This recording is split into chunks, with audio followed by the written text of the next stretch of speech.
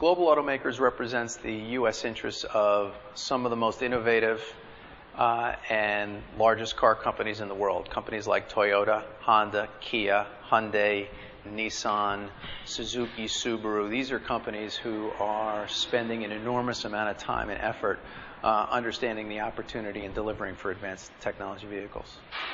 California is where the action is.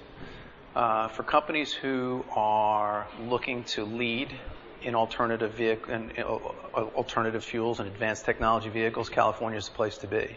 So there's a big opportunity here. Uh, there's an emerging market, and there's lots of collaboration between automakers, fuels providers, and policymakers to see that the market develops. We're working on lots of things, but especially trying to make sure that the marketplace and customers are ready for advanced technology vehicles.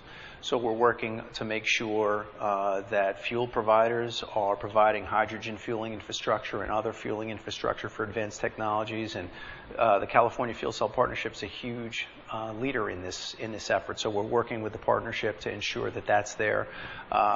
Legislation like AB8 is a great example of how government, fuels providers, and automakers can work together to develop a roadmap. This, for example, a roadmap uh, of stations that will allow customers to really consume these products.